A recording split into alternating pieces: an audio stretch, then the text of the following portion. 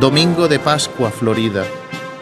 A la hora establecida por la tradición, se inicia la procesión del encuentro, que se desarrolla en silencio a lo largo del recorrido habitual de la procesión.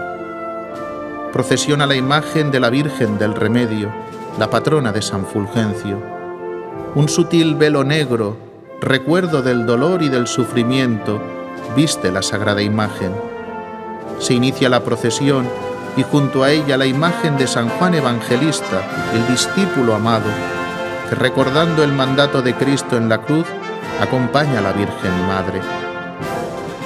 En el momento adecuado, desde la parroquia sale otra procesión con el Santísimo Sacramento, consagrado en la noche de la vigilia pascual y portado por el cura párroco en la antigua custodia.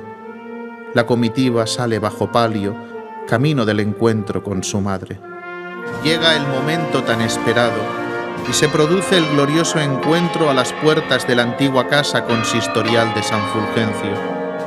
Es entonces cuando el repicar de las campanas que voltean desde la torre, el estruendo de los cohetes, las aleluyas lanzadas desde los balcones y los sones de la marcha real anuncian a todo el pueblo el encuentro gozoso de Cristo vivo con su Madre, la Virgen María hechas las centenarias cortesías de María al Hijo de Dios, es el momento en el que desaparece el luto, que se trunca en alegría, y el velo negro es retirado de la sagrada imagen de la Virgen del Remedio, y de nuevo es colocado el niño Jesús entre sus brazos, al tiempo que una azucena, símbolo de pureza y vida, es colocada en sus manos.